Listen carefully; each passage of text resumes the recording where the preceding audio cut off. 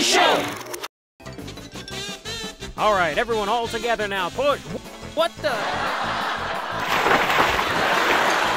Welcome to the world's wackiest battle scenes, where we bring you all the fun and frivolity of combat and turn a blind eye to the horrific realities of the world's bloodiest armed conflicts.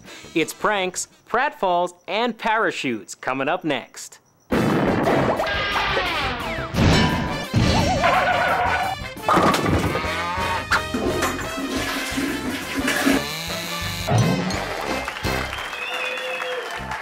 In this first segment from World War I, a German unit in Alsace-Lorraine is pinned down by American doughboys. But now they face an attack from one of their own. Machen Sie das Stinkenstein! Einstein und Pupipax!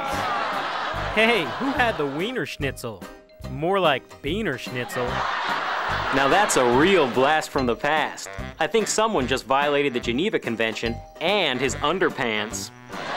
In this next clip from World War II, several hundred Nazis create a real Fuhrer.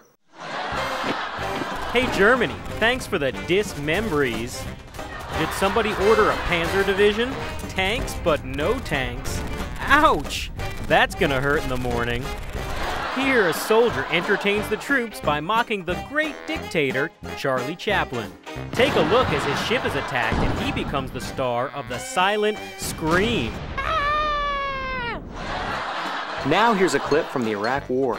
Sure, pillaging Kuwait is fun, but payback's a bitch. Watch as the Republican Guard gets its just deserts? The U.S. Armed Forces charged into Baghdad to find weapons, but it looks like they brought a few of their own. Pretty soon, the Euphrates is gonna be filled with these Frades. I think there must be a sale on Iraqi soldiers because it looks like they're all half off.